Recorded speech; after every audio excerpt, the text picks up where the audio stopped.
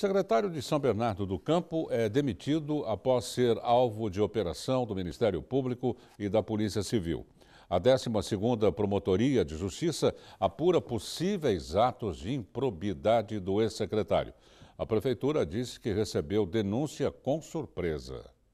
O secretário de Gestão Ambiental de São Bernardo do Campo, Mário Henrique de Abreu, foi exonerado na tarde desta terça-feira. O prefeito Orlando Morando pediu a exoneração imediata dele após Abreu ser alvo de operação na 12ª Promotoria de Justiça em conjunto com a Polícia Civil que apura possíveis atos de improbidade do ex-secretário. A prefeitura informou não concordar com a situação e disse estar colaborando com a investigação. Policiais cumpriram nesta terça-feira mandados de busca e apreensão na Secretaria de Gestão Ambiental e na residência do secretário. Além de Mário Henrique, o diretor de licenciamento Sérgio de Souza Lima e o chefe de seção Tiago Alves Martins também são alvos da operação e foram igualmente exonerados pela Prefeitura.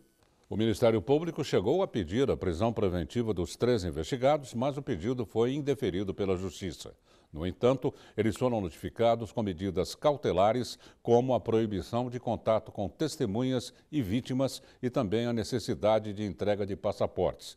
A Prefeitura de São Bernardo disse que recebeu a denúncia, aspas, com surpresa, feche aspas, informou ainda que foi novamente, aspas, instaurado um processo administrativo para apuração de todo o caso, fecha aspas, ponto.